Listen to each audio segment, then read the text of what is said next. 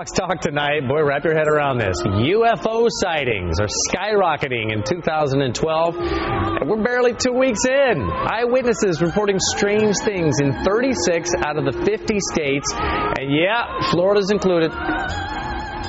We are joined on the phone right now, Peter Davenport from the, uh, he's the director of the UFO Center there in uh, Washington. Peter, uh, let me tell you something. Everybody's got a, a, cell phone camera these days. I'm imagining if you're having a lot of sightings, you're getting some pretty good pictures.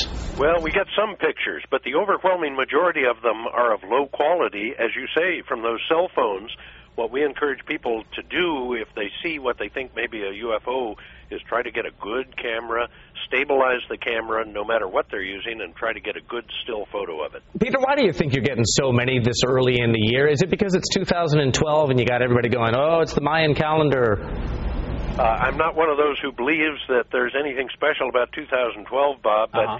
I just just before this program, I reviewed our database. We took 110 reports on New Year's Eve.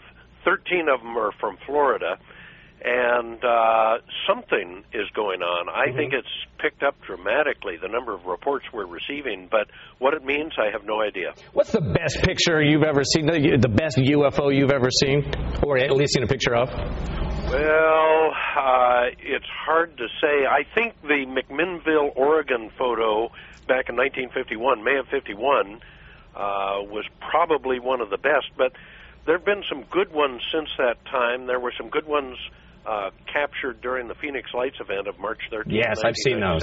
Those are those are terrific. Do you do you think this is going to continue throughout 2012? You think there's something maybe something special going on right now? I have no idea, but I appear to be one of only very few UFO investigators who cannot see the future events clearly. uh, I just don't know what's what's going to happen, Bob. And I'm trained as a hard scientist, so I wait for the data to come in and I make judgment on that. So you don't you're not a paranormal uh, scientist. You're not a you're not a ghostbuster or anything like that. You just wait for the hard evidence. I wait for good solid eyewitness accounts from credible American citizens or citizens from around the world and I look at what I've collected and uh-huh. try to make a decision on that. Peter, I've always wished that I, I could see a UFO. Have you ever in your life seen one?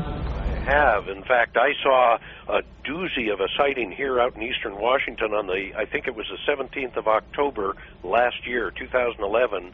I was out for a walk on our local golf course and saw something go over at 6:42 p.m. for which I have absolutely no exper- no explanation uh, I've been a commercial pilot for the last 33 years, and I've never seen anything like that. No kidding. Well, it's very it's fascinating to be sure, and uh, hopefully we'll uh, get people to go to your website and take a look and see those photos for themselves. Peter, we appreciate you spending some time with us today. Thank you very much for your interest, Bob. Mm-hmm.